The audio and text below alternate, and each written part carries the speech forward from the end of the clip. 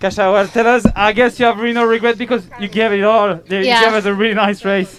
Uh, yeah, I did really enjoy racing here. I feel like maybe after ITT I felt kind of disappointed because I knew that I had a good legs and I just had a bad day that day. So I was happy that I was able to come around and play a nice role in the race.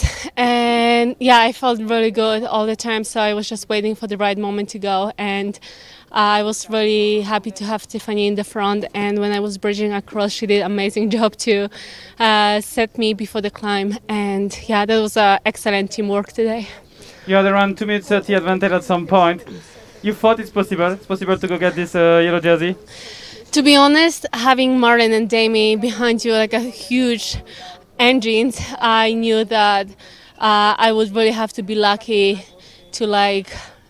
I mean, if they would puncture or something would happen, but yeah, of course, you never wish anything like that to your opponent. So I was hoping for fair play and that maybe their legs would blow up because it was really hot today and I felt like I was cramping. So I was hoping that maybe others as well.